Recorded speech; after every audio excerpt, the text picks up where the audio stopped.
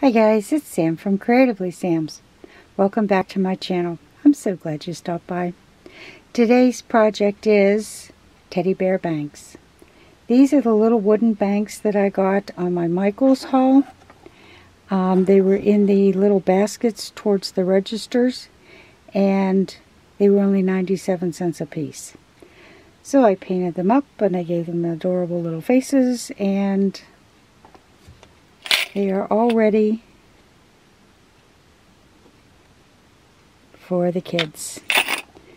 And hopefully we're going to teach them how to start saving some money. So if you want to see how I did this, stay tuned. It's coming up next. You might remember um, these little teddy bear banks that I got from my um, last Michael's haul. And what I've decided to do is one's going to be for my grandson and one's for his big sister. So I got blue cotton, which is a very, very pale blue, and blue bonnet, which is slightly darker. And for little Lily, I've got cameo pink and valentine pink. And you can see they're two different shades. And then I've got, of course, I've always got the black and white for the eyes. Okay, the first thing I'm going to do is I'm going to paint the bears in the pale shade of the color. And after I get done with that, I'm going to do the sides, the little bank part in the darker shade. And I'll be back when that's done. Okay, I've got the light shade on and one of the easiest ways that I know to cut in um, in a corner is to use a really good angled brush. I got this set at Walmart and I'll tell you what, they are some of the nicest brushes I've ever had as far as angle goes.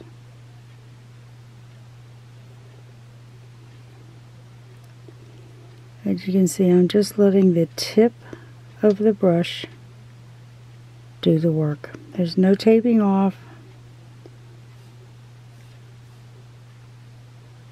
It just went right in there real nice. Alright, I'm going to finish doing that all and then we can get started on the rest of it. And you can see I got the pink one done already.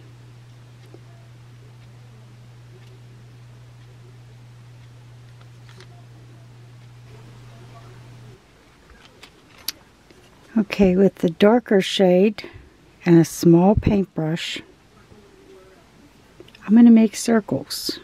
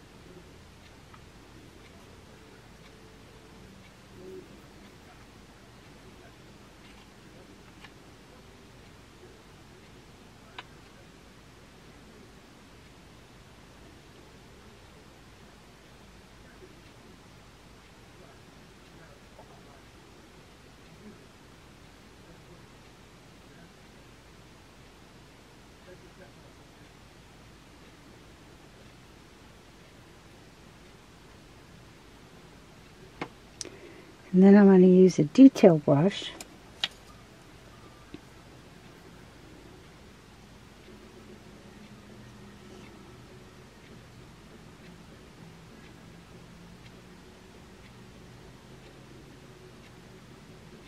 We're just making the bottom of his foot. And I'm going to repeat the same thing on the other side and then the pink one I'll be doing the dark pink. Okay, now with some black, I'm going to put a couple of ovals right above the circle. And I'm not quite sure um, how big I'm going to make these. I'm just going to keep playing until I get them the size that I want them.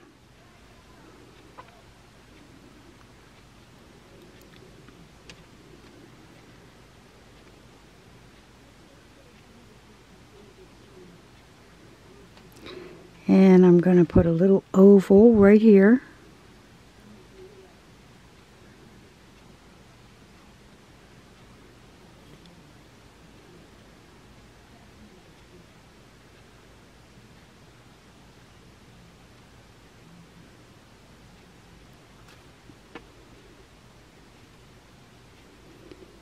And with the detail brush, I'm going to come down here in the center.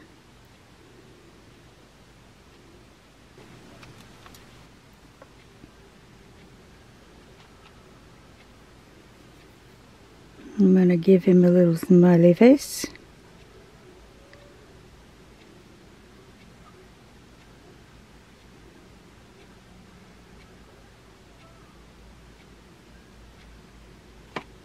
And with a toothpick and some white paint,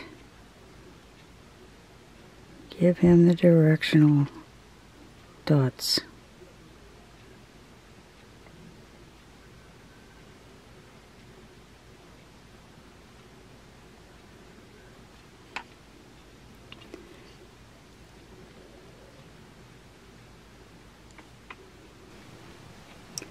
And on the bottom, I'm going to put their names on it.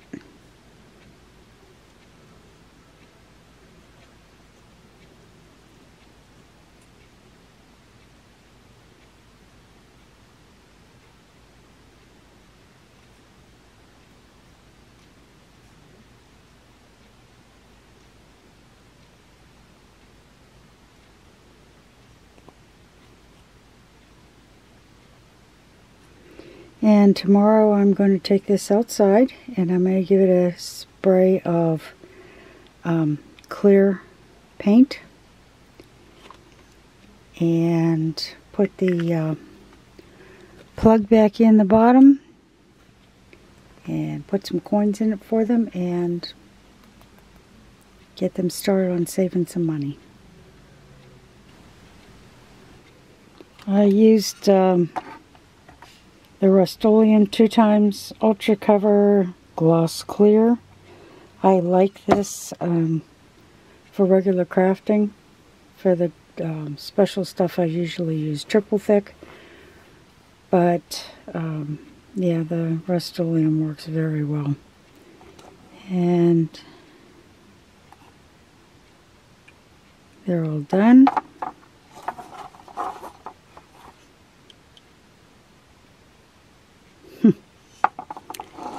And I'm going to try and fit these back in there. And it was a tight fit to begin with.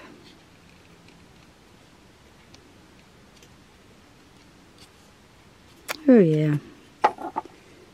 It's not something the little fingers are going to be taken out too easily.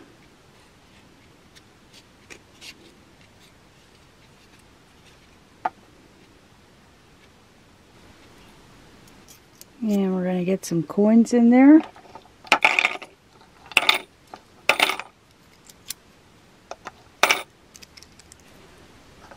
And I have a tendency to save change. I would like to teach the kids this too. Um, I would uh, never spend a quarter. I would always break a dollar and put all of the change in my little banks. Um, I actually got my crystal chandelier by saving um, change.